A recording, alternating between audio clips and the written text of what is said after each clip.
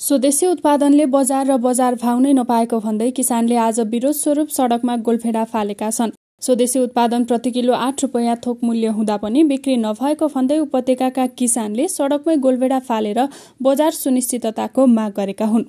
देशको सबैभन्दा ठूलो र मुख्य तरकारी बजार कालीमाटीमै गोलभेडाको थोक मूल्य आठ रुपियाँ प्रति किलो छ।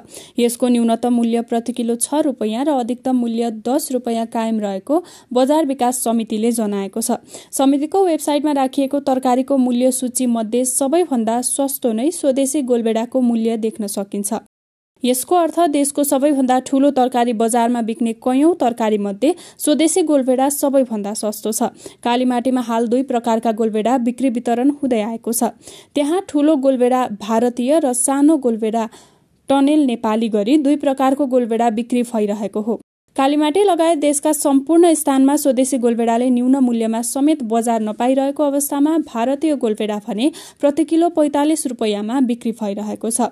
भारतीय गोलभेडाको थोक मूल्य नै पैँतालिस रुपियाँ छ। यो नेपाली उत्पादनको तुलनामा झण्डै छ गुणाले बढी हो। तीन महिनाको अवधिमा उपत्यकाको उत्पादनले नै सम्पूर्ण देशको माग धान्न सक्ने उत्पादकहरूको भनाइ छ। अर्गानिक युवक किसान संघका अनुसार हाल उपत्यकाका गोलभेडा काठमाडौँ र पोखरा बाहेक अन्यत्र बिक्री भइरहेको छैन। काठमाडौँको पनि थोरै हिस्सा मात्रै स्वदेशी गोलभेडाले ओगटेको छ। कालीमाटे बजार विकास समितिले नै भारतीय गोलभेडालाई प्राथमिकतामा राख्ने गरेको किसानहरूको आरोप छ। आजभन्दा तीन दिन अघिसम्म पनि कालीमाटीमा भारतबाटै सानो गोलभेडा आइरहेको थियो जसका कारण स्वदेशी उत्पादनले न्यून मूल्यमा समेत बजार नपाइरहेको किसानहरूको गुनासो छ। हाल थोक मूल्यमा आठ रुपियाँ कायम भएको गोलबेडाको किसानले पाउने मूल्य प्रति किलो दुई रुपियाँ छ जबकि यसको उत्पादन लागत नै पैँतिस रुपियाँ रहेको सङ्घको भनाइ छ। यसअघि जेठ पन्ध्र गते प्रतिनिधि सभा र राष्ट्रसभामा आगामी आर्थिक वर्षको बजेट भाषण गर्दै अर्थमन्त्री डाक्टर प्रकाश शरण महतले स्वदेशी कृषि उपज वस्तुलाई प्राथमिकतामा राख्ने बताएका थिए।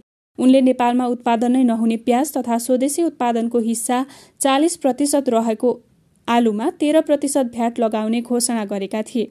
उनले स्वदेशी गोलबेडा लगायतका वस्तुलाई भने प्राथमिकतामा राख्ने विषयमा सोच पुर्याउन सकेनन्।